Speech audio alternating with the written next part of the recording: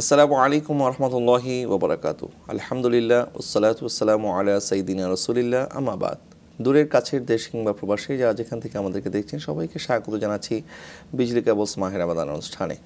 দর্শক, প্রতিদিনের ধারাবাহিকতায় আজকে আমরা আলোচনা করব ইসলামে সুদ এবং ঘুষ সম্পর্কে কি বলা হয়েছে আমাদের এই সামাজিক বেদি সম্পর্কে আমাদেরকে ইসলাম কতটুকু দূরে থাকতে বলেছে, সচেতন থাকতে বলেছে, আর এই বিষয়টি নিয়ে আলোচনা করার জন্য আমাদের স্টুডিওতে আমন্ত্রিত উপস্থিত আছেন ঢাকা বিশ্ববিদ্যালয়ের ইসলামিক স্টাডিজ বিভাগের সময়ত সহকারী অধ্যাপক হজরত মাওলানা ডক্টর মাসুম বাকিবিল্লা আসসালামু আলাইকুম রহমতুল্লাহ ওয়ালাইকুম আসসালাম রহমতুল্লাহ আবরকাত মোহতরাম কেমন আছেন? আলহামদুলিল্লাহ আপনি কেমন আছেন? আলহামদুলিল্লাহ। আহ, মোহতরাম আমরা আজকে সামাজিক একটি ব্যাধি যেটি মারাত্মক গুণ এবং ইসলামে হারাম সেই দুইটি বিষয় একটি হচ্ছে সুদ আর একটি হচ্ছে ঘুষ।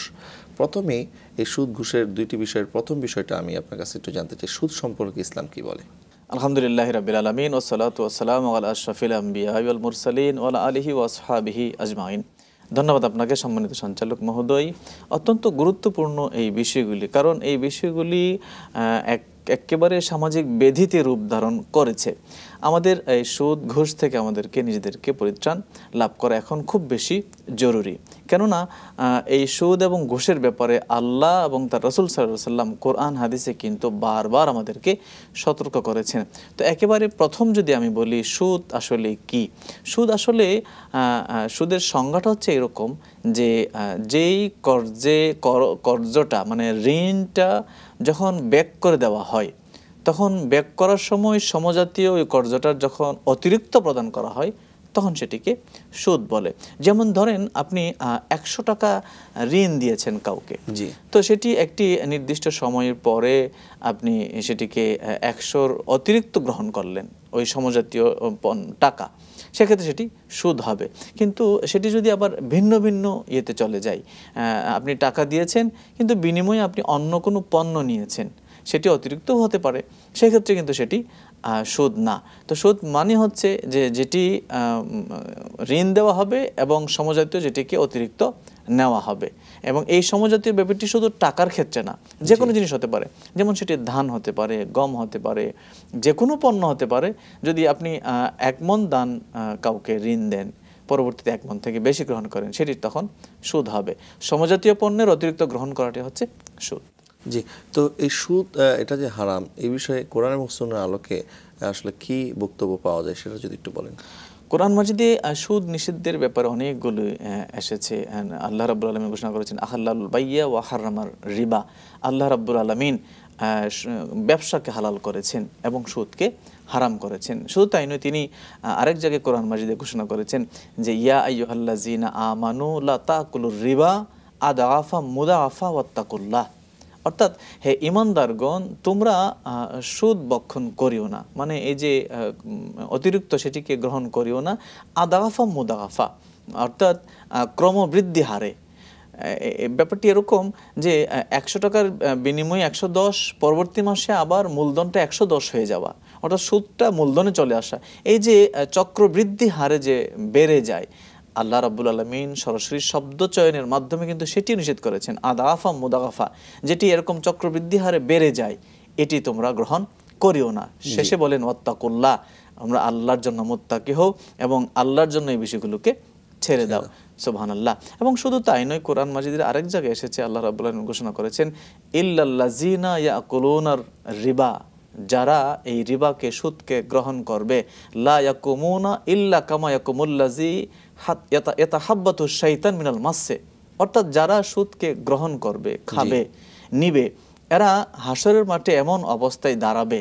লায়কুমুনা ইল্লা কামায়াকুমুল্লাজি তারা এমনভাবে দাঁড়াবে যে শৈতান তাদেরকে স্পর্শ করে পাগল করে দিয়েছে। এটা হাব্বাতু শৈতান মিনাল মাসে অর্থাৎ শৈতান কাউকে স্পর্শ করে টাচ করে পাগল করে দেওয়ার মতো অবস্থা তখন তার হাসরের মাঠে তৈরি হবে।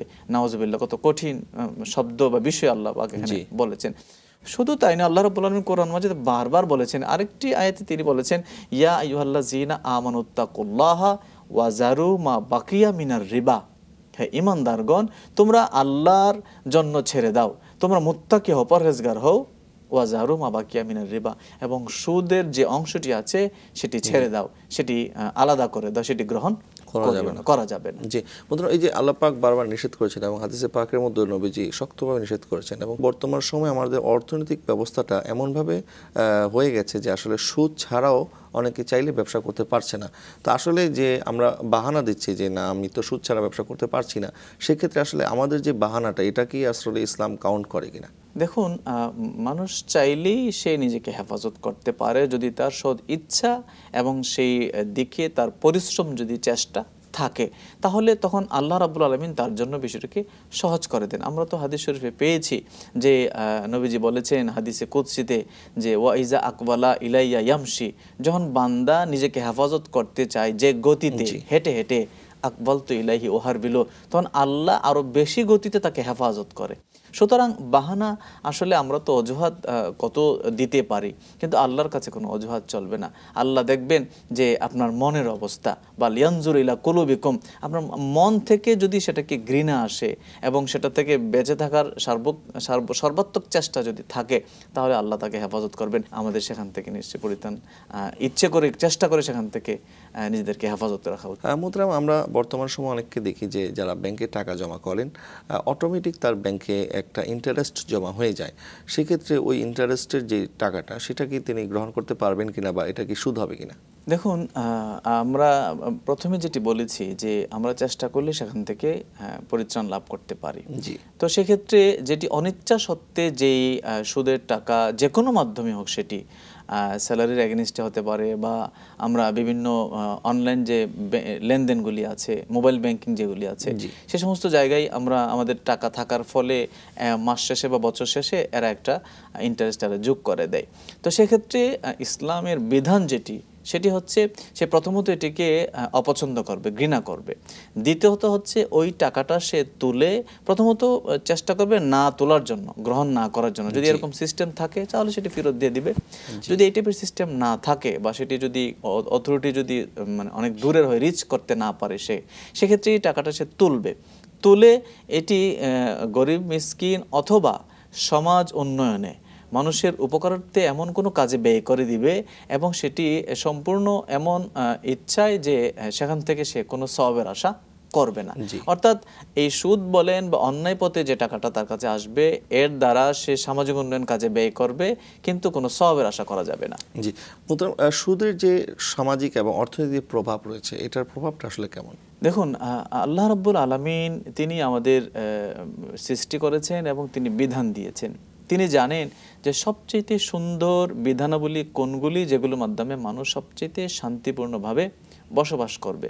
সুতরাং তিনি যেহেতু মহাজ্ঞানী, মহাপরাক্রমশালী, আল্লাহ যেহেতু বলেছেন যে এই সুদ পক্ষান্তরে মানুষের ধনী গরিবের বৈষম্যকে আরও বাড়িয়ে দেয়। যিনি ধনী আরও বেশি ধনী হয়। যিনি গরিব আরও বেশি গরিব হয়। যেহেতু তিনি এটিকে নিষেধ করেছেন, সুতরাং প্রথমত হবে আমাদের সেটিকে মেনে নেওয়া যে এর পিছনে কল্যাণ নেই বরং তিনি বলেছেন জাকাত দাও। তাহলে ধনী সম্পদ গরিবকে এমনি দেওয়া হবে। দান করো সৎকা করো সৎকাতুল ফিতর দাও ঋণ দাও কর্জে হাসানা দাও। কর্জে হাসানার এত দামি একটি জিনিস কর্জে হাসানা নেওয়ার পরে যতদিন লোকটি ব্যাক না করবে। ততদিন প্রতিদিন ওই সম পরিমাণ অর্থ দান করার স্বভাব। লেখা হয়ে যাবে। সোহান আল্লাহ কর্জে হাসানা নবীজি বারবার বলেছেন এই কর্জে হাসানা হলে ওই সম্পদ ব্যালেন্স থাকবে বৈষম্য তৈরি হবে না। ধনী খুব বেশি ধনী হবে না গরিব আরও বেশি গরিব হবে না। সুতরাং এই প্রভাব তো আছে।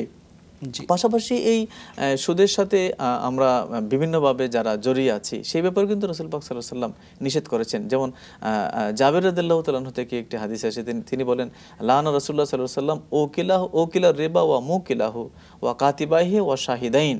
ওয়াকালাহুম সাওয়াউন অর্থাৎ এই সুদের সাথে শুধু যিনি সুদ গ্রহণ করবেন বিষয়টা সেরকম না যে সেই শুধুমাত্র এর জন্য সাফার করবে বা এর ক্ষতিকারক সামাজিক দিকে সে নিপতিত হবে বিষয়টা সেরকম না।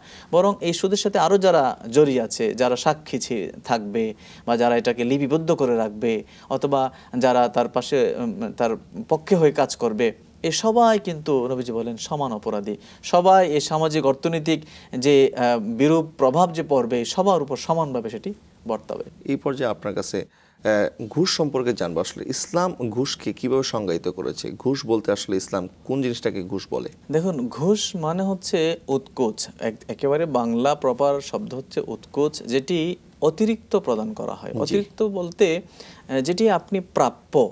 মানে আপনি এই বিষয়টি আপনি যোগ্যতার ভিত্তিতে আপনি পাবেন আপনি হকদার কিন্তু আপনার হকদার হওয়ার পরেও কেউ যদি অতিরিক্ত কোনো মুনাফা সেটি আর্থিক হতে পারে বা অন্য কোনো সুযোগ হতে পারে জি। যদি সেই সুবিধাটা সে অন্যায়ভাবে আপনার হকদার হওয়ার পরেও সেটি গ্রহণ করে বাধ্য করে আপনাকে তখন ও- ওইটা হবে উৎকোচ বা ঘুষ।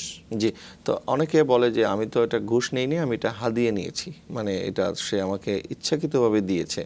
তো আসলে ইচ্ছাকৃতভাবে দেওয়া আর একটা হচ্ছে যে চাপ প্রয়োগ করে নেওয়া অথবা ফাইল আটকিয়ে নেওয়া এই দুইটার মধ্যে আসলে পার্থক্যটা কি? হাদিয়া হচ্ছে একেবারে স্বতঃস্ফূর্তভাবে। কোনো ধরনের ডিমান্ড ছিল না এবং এই টাইপের কোনো পরিবেশও সৃষ্টি হয়নি। ইনডিরেক্টলি সে তারপরেও যদি কেউ কোনো কাজের বিনিময় বা বিনিময় ছাড়া এমনিতেই ভালোবাসার কারণে শুধু কেউ কিছু দান করে বা কিছু প্রোভাইড করে সেক্ষেত্রে সেটি হবে হাদিয়া। কিন্তু আমরা হাদিয়া বললেই তো আর ঘুষ হাদিয়া হয়ে যাবে না। ঘুষ হলো যদি আমি মুখে বললাম না কিন্তু আমি এমন একটি পরিবেশ তৈরি করে ফেললাম আপনি যেটি বললেন হয়তো বা ফাইল আটকিয়ে অথবা অন্য কোনো মানুষের মাধ্যমে অথবা লেংদি প্রসেসের মাধ্যমে যে লম্বা সময় করলে লোকটি এমনিতেই বিরক্ত হয়ে আমাকে সে বাড়তি সুযোগ দিবে বা অর্থ দিবে। এই যে এত অর্থাৎ কোনো ধরনের কোনো কিছু সৃষ্টি করলে এটা প্রাপ্তির আশায় ওটা হবে তখন ঘুষ এটা হাদিয়া ঘুষের। বিষয়ে কোরআন এবং সুন্নাতে কি বক্তব্য আছে? কোরআন মাজিদে অন্যায়ভাবে এই সমস্ত সম্পদ আহরণের ক্ষেত্রে আল্লাহ রাবুল আলমী নিষেধ করেছেন। তিনি বলেন তাকুলু আমু আলাকুম বাইনাকুম বিল বাতিল। অর্থাৎ তোমরা অন্যায়ভাবে এই সমস্ত আহ, খাবার তোমরা গ্রহণ করবে না, এই অর্থ তোমরা গ্রহণ করবে না, মাল গ্রহণ করবে না। পাশাপাশি নবীজি সাল্লাহ সাল্লাম কিন্তু নিষেধ করেছেন যে, আর রাশি ওয়াল মুরতাসি কেলাহমা ফিন্নার। সরাসরি স্পষ্ট শব্দের মাধ্যমে যে ঘোষ দাতা এবং ঘোষ গ্রহণকারী এই দুই ব্যক্তি উভয়ই জাহান্নামের আগুনে জ্বলবে। মোতরাম খুব সংক্ষিপ্তভাবে জানব যে কেউ যদি অন্যায়ভাবে এই ধরনের ইনকাম করে সুদের মাধ্যমে, ঘুষের মাধ্যমে, এখন তার পরিবারের সদস্য যারা, তারা তো এই ঘুষের টাকা বা সুদের টাকা খাচ্ছে, তারাও কি গুণাগার হবে কিনা? দেখুন প্রত্যেক দায়িত্বশীলের ব্যাপারে, তার কাজের ব্যাপারে হাসরের মাঠে জিজ্ঞেস করা হবে। একজনের জন্য, একজনের অপরাধের জন্য আরেকজনকে জিজ্ঞেস করা হবে না। এটা হচ্ছে প্রথম রুলস পাশাপাশি এখন পরিবারে স্ত্রীর ভরণ পোষণের দায়িত্ব বা স্বামীর। সন্তান বালেগ হওয়ার আগ পর্যন্ত তার ভরণ পোষণের দায়িত্ব বাবার।